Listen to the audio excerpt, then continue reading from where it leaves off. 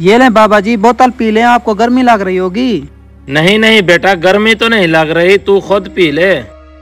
बाबा जी थोड़ी सी तो पी लें। नहीं नहीं बेटा तू खुद पी ले। जैसे आपकी मर्ज़ी बाबा जी। कोई बात नहीं तू नाराज़ हो रहा है तो मैं पी लेता हूँ।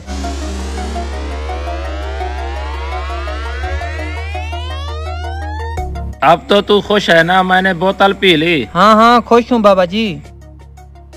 अबे ये क्या हो रहा है मुझे? बाबा जी खरिया तो है क्या हो गया आपको?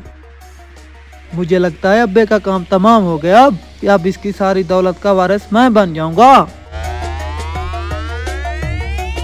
वाह छोटे तेरा प्लान तो काम कर गया। तुझे दाद देनी होगी। वैसे तूने अपने अब्बा के साथ ठीक नहीं किया। मेरा बाप था तुझे इतना फ़िक्र क्यों हो रही है? अरे तेरा बाप तुझे बहुत चाहता था वो तेरी हर ख्वाहिश पूरी करता था तूने ऐसा क्यों किया? तुझे क्या पता मैं अपने बाप की वजह से हर जगह शर्मशार होता था? अरे तूने ये ठीक नहीं किया तू सारी ज़िंदगी पछताएगा। खामोश हो जा कहीं तेरे साथ ऐसा ना करूँ।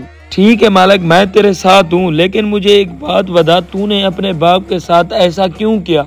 तुझे क्या पता ये बहुत बड़ा कंजूस था। ना मुझे कपड़े दिला कर देता और ना गाड़ी चलाने देता इसलिए मुझे कदम उठाना पड़ा।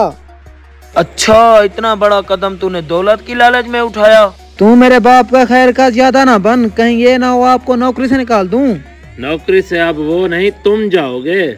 बाबा क्या आप ज़िंदा हो? हाँ बेटा मैं ज़िंदा हूँ क्योंकि तेरे प्लान का तो मुझे पहले से ही पता चल चुका था। अब्बा मेरे प्लान का तुझे पहले कैसे पता था? अभी बताता हूँ अबे छोटे तू इधर आ। हाँ आया। तूने मेरा प्लान अब्बे को बताया तूने मेरे साथ गद्दारी की। हाँ मैंने तेरा प्लान तेरे अब्बा को बताया क्योंकि तू नमक हराम हो सकता है मैं नहीं। हाँ बेटा तू क्या समझता था? तू अपने घटिया प्लान में कामयाब हो जाएगा।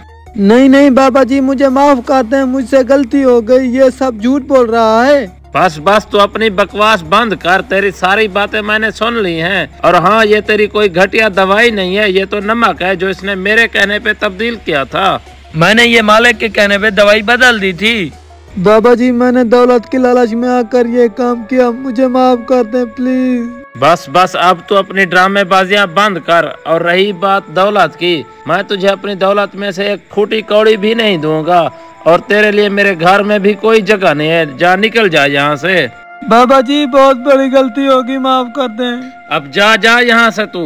दोस्तों दौलत की खातर अपने वालदेन की नाफरमानी ना करें। अगर हमारी वीडियो अच्छी लगे लाइक फॉलो और शेयर करें।